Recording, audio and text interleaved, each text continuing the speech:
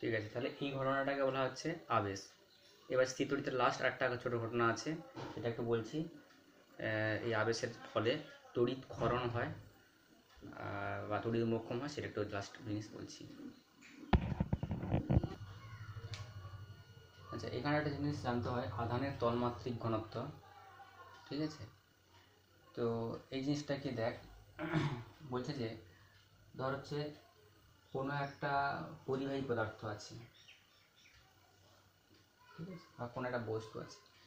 সেখানে যে আধানটা থাকে, সেই আধানটা সব জায়গায় ইকুয়াল ডিস্ট্রিবিউট থাকে না।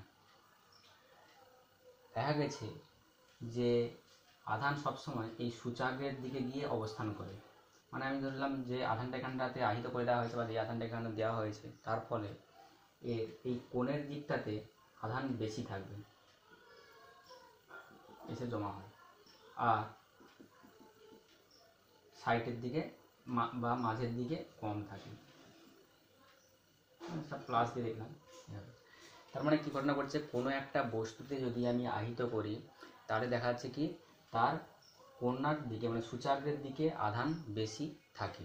ঠিক আছে? এগুলো সব নোট করবি সূচাগ্রের দিকে আধান জমা থাকে।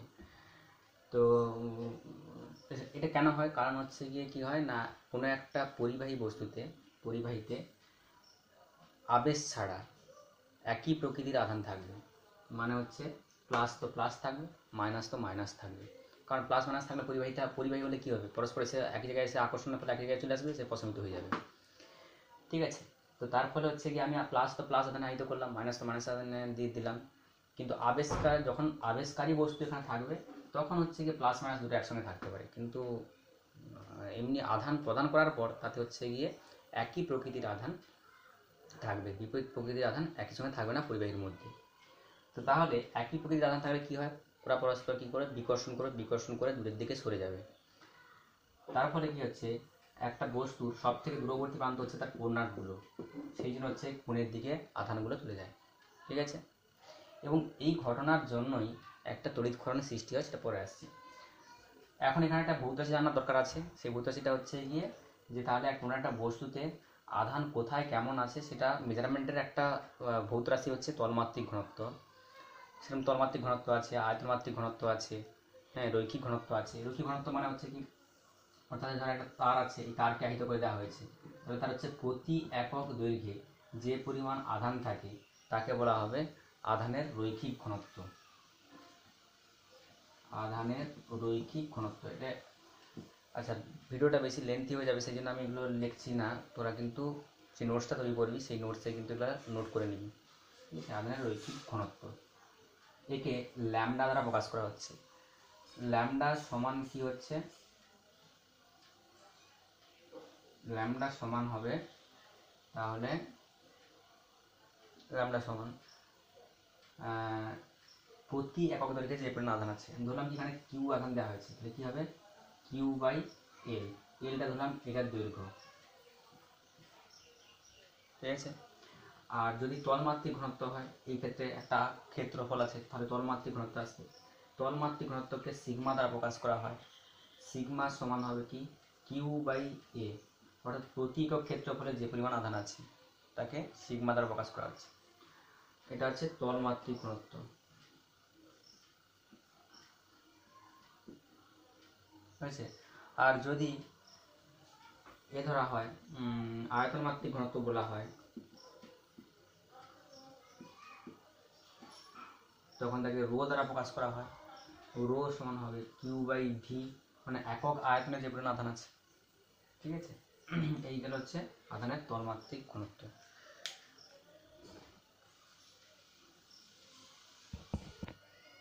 আচ্ছা এবার যেটা করছি তড়িৎ ক্ষরণ। এই জিনিসটা বলছি দেখ এইভাবে সাপোজ কোনো একটা বস্তুতে অনেক বেশি পরিমাণ আধান আছে, ঠিক আছে? তো এবং বস্তুর আকৃতি আমি সাপোজ ধরলাম এই এইভাবে একমাত্র আকৃতি আছে। এবার যদি এটা আমি যদি আধান দিয়ে দিই, তাহলে কি ঘটনা ঘটবে? এই আধান দেওয়া হয়েছে। আধান তো দিয়ে দেওয়ার পর এইভাবে থাকবে না। কেন? আধানগুলো হচ্ছে যে পরস্পর সব থেকে দূরবর্তী বা আধানের ধর্ম হচ্ছে তীখাগ্রর দিকে মানে তীক্ষ্ণ প্রান্তের দিকে এসে অবস্থান করে, যেটা আমি আগের একটু আগে বললাম। তারপরে এই আধানগুলো কি হবে? ডেনসিটি এইখান থেকে সরে গিয়ে সব এইখানটাতে জমা হবে।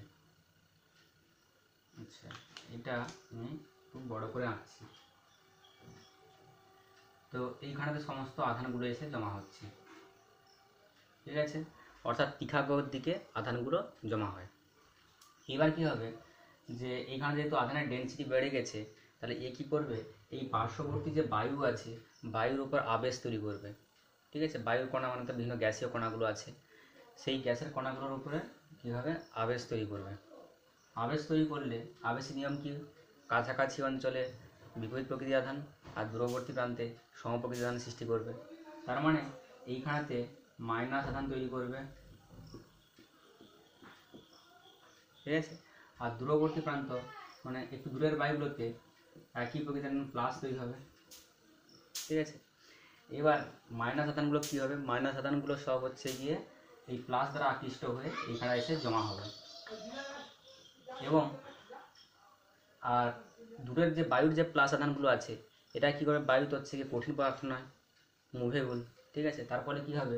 এই বায়ুর কণাগুলো মানে কি একটা বায়ুর যে গ্যাসের কণাগুলোর থেকে একটা ইলেকট্রন বেরিয়ে গেছে। তার জন্য প্লাস হয়ে গেছে। তারপরে এরা কী করবে? বিকর্ষণ করে ছিটকে দূরের দিকে সরে যেতে চাইবে। অর্থাৎ এইখান থেকে এইভাবে ছিটকে দূরের দিকে সরে যাবে তার ফলে এখানে যদি আমি একটা মোমবাতি, শিখা রাখি, তাহলে কি হয়? সেই মোমবাতি, শিখাটা এরকম করে বেঁকে যায়। মানে হালকা একটা বায়ু স্রোত হবে। এই যে বায়ু স্রোত হয়, তাকে বলা হবে তড়িৎ বার্তা। ঠিক আছে? কারণ বায়ু কণাগুলো পরস্পর বিকর্ষণ করে ছিটকে দূরের দিকে সরে যাচ্ছে। আবার নতুন বায়ু এখান থেকে আসছে, আবার আবিষ্ট হচ্ছে, আবার ছিটকে দূরে সরে যাচ্ছে। তার ফলে এখানতে খুব সামান্য একটা বায়ু স্রোত হবে, যেটা একটা মোমবাতি শিখা রাখলে দেখা যাবে হালকা বেঁকে গেছে। ঠিক আছে? এই ঘটনাটাকে বলা হচ্ছে তড়িৎ বার্তা। আর এইখানে কি ঘটনা ঘটছে? এই যে নেগেটিভ আধানগুলো আছে, সব নেগেটিভ আধানগুলো প্লাসকে গিয়ে আকৃষ্ট করেছে। তার ফলে কী হচ্ছে? প্লাস দ্বারা আকৃষ্ট হচ্ছে, হয়ে এর মধ্যে গিয়ে প্লাসগুলোকে প্রশমিত করে দিচ্ছে। তার ফলে এই গোটা বস্তুটার আধান জিরো হয়ে যাচ্ছে। ঠিক আছে? গোটা বস্তুর আধান ধীরে জিরো হয়ে যাচ্ছে। অর্থাৎ আধান বিনষ্ট হয়ে যাচ্ছে। এই ঘটনাটাকে বলা হচ্ছে তড়িৎ ক্ষরণ বা তড়িৎ মোক্ষণ। ঠিক আছে? এইটা হচ্ছে গিয়ে প্র্যাকটিক্যাল অ্যাপ্লিকেশন হচ্ছে তোদের যখন চমকায় বা বাজ পড়ে সেখানে কী ঘটনা ঘটছে? মেঘে মেঘে ঘর্ষণের ফলে মেঘে হচ্ছে প্রচুর পরিমাণে আধান জমা হয় এবং হচ্ছে ভূপৃষ্ঠ হচ্ছে জিরো ভোল্টেজ মানে কোনো বিভব ধরা হয় না। তারপরে কী হবে? না আকাশ থেকে মেঘের দিকে তড়িৎ প্রবাহ হওয়ার চেষ্টা করবে। এগুলো হচ্ছে তড়িৎ ক্ষরণের একটা ঘটনা। ঠিক আছে? তো এটা বলা হচ্ছে তড়িৎ ক্ষরণ আচ্ছা এই প্রসঙ্গে একটা জিনিস মনে পড়ল। সেটা হচ্ছে গিয়ে যে বিভিন্ন কোশ্চেনে তোরা নোট করে নিবি, আমি কিন্তু পরে খাতা আমি ভিডিও করছি, তাই জন্য এত কিছু লেখার টাইম পাচ্ছি না। এখানে থেকে যে কোশ্চেন আছে সেটা হচ্ছে, বিভিন্ন আকৃতির থেকে গোলক বেশিক্ষণ আধান ধরে রাখতে পারে কেন? ঠিক আছে? তার কারণ এখানে দেখ হয়ে গেল। সেটা হচ্ছে, গোলকের ক্ষেত্রে দেখ এইভাবে কী ঘটনা ঘটছে? এই যে গোলক আছে, গোলকের ক্ষেত্রে কোনো সূচাগ্র থাকে না। সূচাগ্র না থাকলে আধান বেশি গিয়ে জমা হবে না?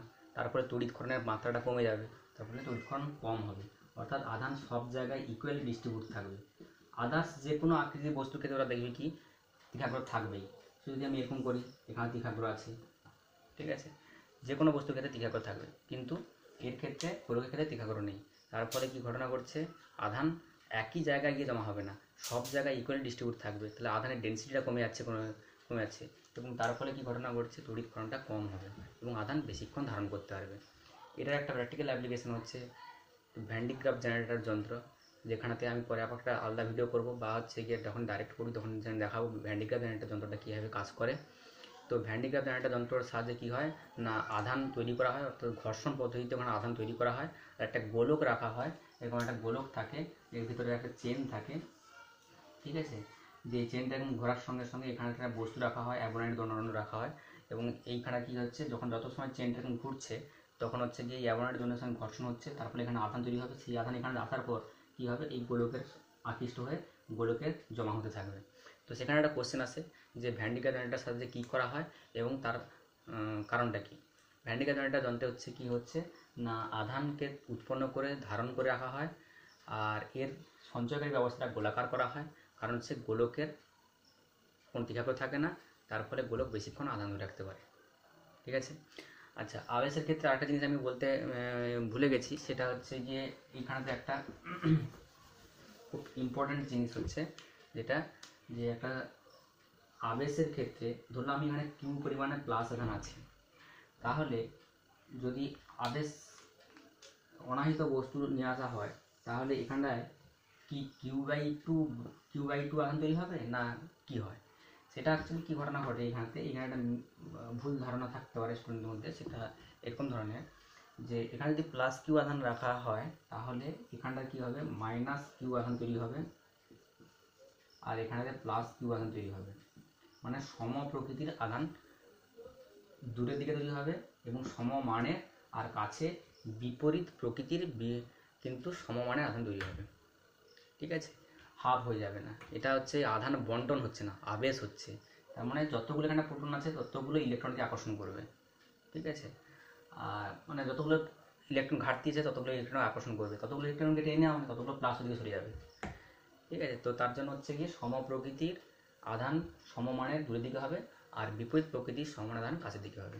বেশ তো বাকি তোরা বইতে পড়বি কিছু? প্রবলেম হলে আমাকে বলবি।